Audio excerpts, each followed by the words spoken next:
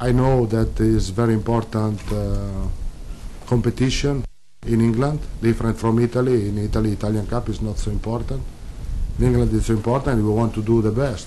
Is our is one of um, uh, our objective, uh, our aim to win the title. The last last year, uh, Chelsea won this title. We want to do the best also this year.